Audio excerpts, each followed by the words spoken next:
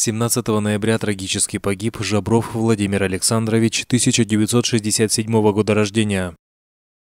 Прощание с телом состоится 21 ноября в соборе Святой Троицы с 11 до 13 часов. Захоронение на новом кладбище. Поминальный обед в кафе «Арарат» в 15.30. Помним, скорбим.